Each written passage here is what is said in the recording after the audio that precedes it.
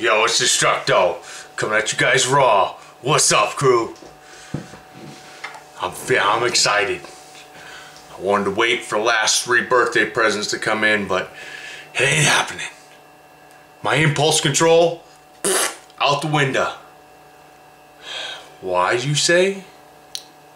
Donna. Donna. Donna, Donna, Donna. Oh, Warhammer review time. That's right. I gotta get this done. Why? Because I want you guys to see what this looks like when you get it out of the box. Sans one thing. Two things. There was a sticker on here. I took that off. It looked ugly. And uh, there's also uh, missing one screw. I'll tell you about that in a minute. What we do, be honest with me guys. Do I look manlier? think my beard's coming in faster. Shaved this morning. Just kidding. Hey, let's get it done. I know, you can come here for a professional view. Come here to get the, get the thoughts and opinions of this guy. Let's get it done. The uh, metal of the Warhammer is 5150 steel. The face is one and a half inches by one and a half inches. Uh, the overall length from pick tip to face is seven and three eighths inches. And uh, the 5150 steel is heat treated differently uh, from the face and tip of the spike and face of the of the hammer versus the rest of the body. Uh, the face and the face of the hammer, which is very very beautifully polished. I am going to mess that up. Uh, and the tip are heat treated uh, very very hard but the rest of the body is softer and uh, that is for on a molecular level to help with um, impact shock absorption we already know what happens when there's a, a high Rockwell uh, throughout the, the, the steel uh, and it impacts something even a plastic bottle with threads on it. Take a look at the Sog Fari. Cold Steel did the job on this, right. The head is mated with a American Hickory hardwood 30 inch straight grain, look at that, handle. Which is nice and smooth, uh, which you're going to want when you choke up, slide your hand down, bang. Uh, you don't want to catch any splinters or you know, burn some blisters in your hands, right? Oh yeah. Uh, to the hardwood, there are seven little tiny and that's right some assemblies required little screws there's seven of them for each side for the langlets L-A-N-G-E-T-S one word. Langlet, langets I'm not a linguist. Sorry guys. Uh, and connect them through to, to protect the hickory handle uh, from edge weapon strikes. Destructo will not be testing that theory out. Hopefully. Uh, awesome. Uh, now, you guys come here for an opinion.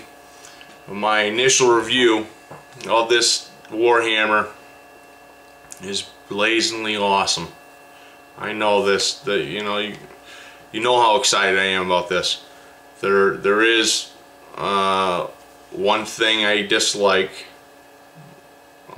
Well, there's one thing that I'm worried about. Then we'll do the one thing I dislike, the bad finger, right? And then we'll give this one on a uh,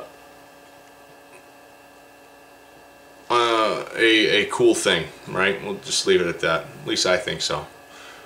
Get the bad thing out of the way first. Because I ain't flipping you guys off. Uh, I know we have to save a little money, right?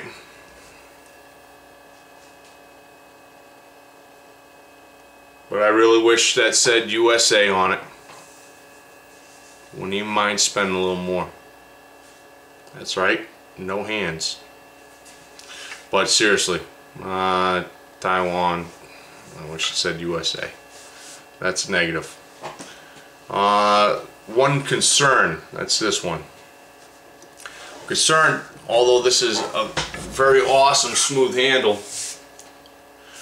because uh, you crew, you out there, you know, uh, Destructo's lower extremities kind of foobar, right? Well, uh, I mean, I'm gonna swing this thing with everything I got, but because I'm not gonna be able to get my hips really involved, and uh, you know, I'm gonna be doing mostly upper body swings with this.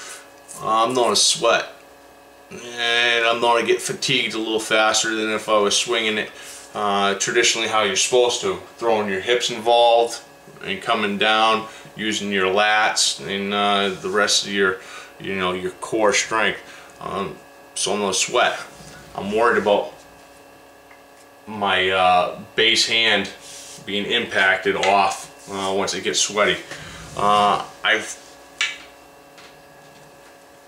deduced a possible fix for that I thought at first of drilling a, a hole for a lanyard uh, getting my buddy Hawk Reno over at Combat Paracord, the you know mad scientist, an idea for me. But instead, I've uh, if after the the initial test, if it's not a problem, I'm probably to leave it as is. Um, but if it is, I'm probably going to take uh, the bottom probably 9-10 inches of that that shaft and uh, tape it up like a hockey stick. Uh, I'm not going to do it. I'm going to get a good friend of mine who is an avid street hockey player uh, to do it well for me. Yeah, I can watch YouTube and I could, you know, make a monkey out of it, and, uh, you know, but I'm going to I'm to have someone else do it right for me and make a ball at the end so that I, I I'm going to choke up and lose a little bit, but I'm going to keep my hand in there uh, nice and tight. Um, I said there was three things. This is a un, uh, this is a, a benefit. Uh, mayhem and destruction, right? Yeah. Well, the big guy rotator cuffs aren't as good as they used to be ever since the big accident That's right, I pop every time I roll my shoulder. Well, get an itch. Take the awesome Warhammer. Get those itches that just can't be reached. Guys, Destructo, I appreciate your time. Appreciate your view. Hey, I know I don't say it, you know, on video often, but you guys, really, any questions, any suggestions, they're always respected and welcome at the channel. Have at it. Hey, it's saying you guys make me smile on the inside. Out!